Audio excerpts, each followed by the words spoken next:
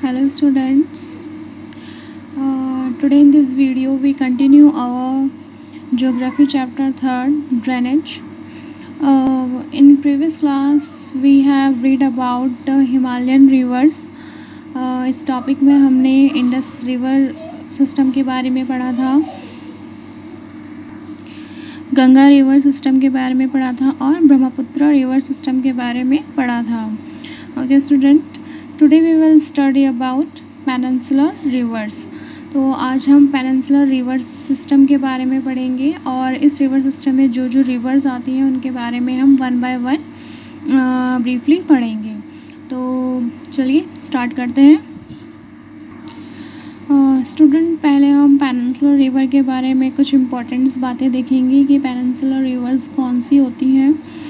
कुछ पॉइंट्स के थ्रू हम इसको समझेंगे। देखिए फ़र्स्ट पॉइंट है the most of the peninsular rivers originate from western Ghats flow toward east meaning is that कि मोस्ट ऑफ़ जो पेनसुलर रिवर हैं, ठीक है, सभी नहीं मोस्ट ऑफ़ ठीक है तो सभी कहाँ से ओरिजिनेट होती हैं? आपके वेस्टर्न घाट से ओरिजिनेट होती हैं और किधर की तरफ़ बहती हैं? ईस्ट की तरफ़। ईस्ट की तरफ़ फ्लो करती हैं। वेस्ट से बहती हैं और ईस्ट की तरफ़ फ्लो करती हैं।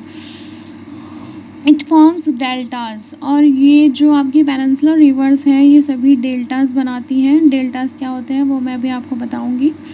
The Narmada and the Tapi are the only long rivers which flow west and make estuaries देखिए, यहाँ पर सिर्फ़ दो नदियाँ हैं, नर्मदा और तापी। लॉन्ग रिवर जो लंबी नदियाँ हैं, जो कहाँ वेस्ट की तरफ़ बहती हैं। देखो, हमने पहले पॉइंट में क्या पढ़ा था? Most of peninsular river east की तरफ़ फ्लो करती हैं। बट यहाँ पर दो रिवर ऐसी हैं जो लॉन्ग हैं। देखिए, और भी रिवर्स होंगी बट जो दो लॉन्ग रिवर हैं, वो नर्मदा और तापी, जो कहाँ की तरफ़ फ्लो करती हैं वेस्ट की तरफ़ फ्लो करती हैं। मतलब ये पेनसुलर ये पेनसुलर डेल्टा के इधर की साइड बहती हैं वेस्ट की तरफ़ और नर्मदा और तापी अदर्स रिवर्स आपकी ईस्ट की तरफ़ फ्लो करती हैं। अभी हम मैप के थ्रू आपको समझाएँगे। Which flow west and make estuaries अब देखिए एस्ट्रीज क्या होता है। लुक एट हियर एस्ट्रीज यानी कि the wide part mouth of a river where its joins the sea देखिए, जब कोई भी रिवर समुद्र में मिलने वाली होती हैं तो वो थोड़ा वाइडली फैल जाती है, ठीक है? तो उस टाइम जो उसका, जो नदी का मुहाना होता है, उसको एशरीज़ बोलते हैं, ठीक है? डेल्टा अभी एक वर्ड आया था। डेल्टा क्या होता है?